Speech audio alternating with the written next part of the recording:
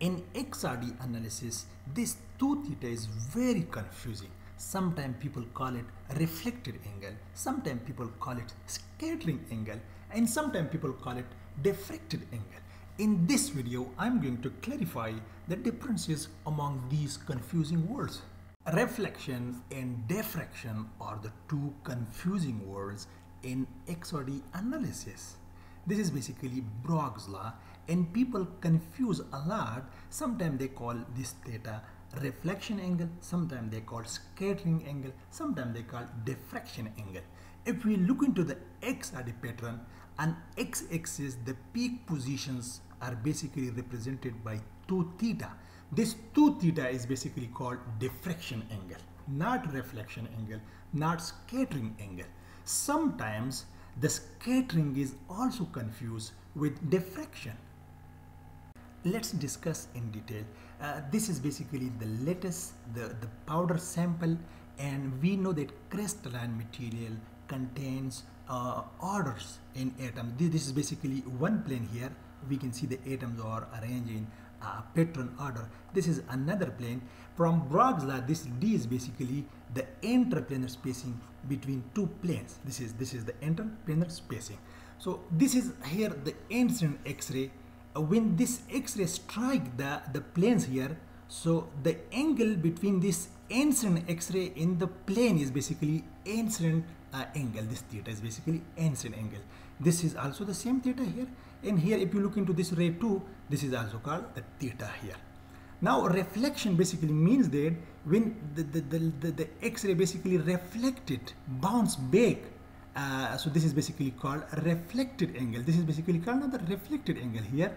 Now, if you look into this ray here, this is also called the reflected angle.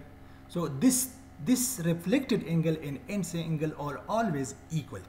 In in XRD pattern, this 2 theta is not reflected angle, this 2 theta is not incident angle. Now let's come to the diffracted angle. Look, let's, let's consider this one here, this. When, when we shine this incident X-ray here on this plane, so it's, it's get reflected here, right? But this X-ray is also uh, moving, going inside the uh, sample here because the X-ray is uh, uh there, so it's high energy. So it has to go through this uh, sample here. Now when it goes inside, so there is a scattering phenomena, we know, because how we explain this, they, they from the structure factor that X-ray basically scatter, X-ray basically scatter initially from electron, uh, then from atoms, and then from unit cell. This means that X-ray is just scattering inside.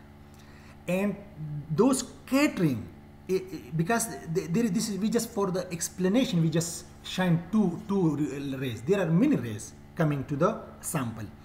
So uh, this another ray is now coming here and it's also scattering from the atom and uh, uh we know that this scattering is, uh, is sometimes uh, in a way that it reinforces uh, the, the, the, the, the rays, the reflected rays here and we get diffraction, we get interference and we get peaks here. Let me explain this in a nice way here. Now, look here, uh, the, the, the, diffraction angle is basically uh, the, the, the transmitted X-ray here and the reflected X-ray here. This is basically the diffracted angle 2 theta here. If you consider this one here, so the, the ray 2 here, so this is the transmitted ray 2 here, and this is now the reflected here. So now this is the 2 theta here angle. Right? This is the, the difference between the uh, reflected angle and diffracted angle.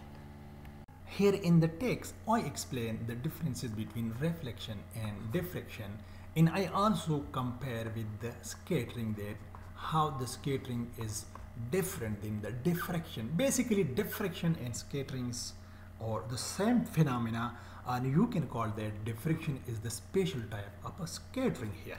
So we can see here the, the I, I will I will keep this in the description. I mean I'll also keep eh, in the post. Reflection only take place from the surface or thin surface layer, layer from atomic layer. But diffraction take place throughout the entire bulk, entire volume here. And we know that there, the X-ray basically scatter from electrons, atoms, unit cell in all directions. Now, now look the second one. Reflection basically take place at any angle. There is no fast and hard rule for this, but diffraction can only take a place when there is a Bragg law satisfaction. When this Bragg law basically satisfied, so that the diffraction can take place. This is why we have the 2 theta uh, in the uh, XRD uh, spectrum. Uh, the, the, the peak, we only get the peak here once the Bragg law is satisfied. And that angle is basically called diffraction. The third one is very important. In reflection, 100% intensity may be reflected from the surface, depending on the nature of the surface. While in diffraction, only small fraction of the incident intensity is diffracted because we know that uh, most of the uh, most of the X-rays scatter from the planes and they are uh, arranged in a way that they cancel the effect of each other and we don't get peaks here.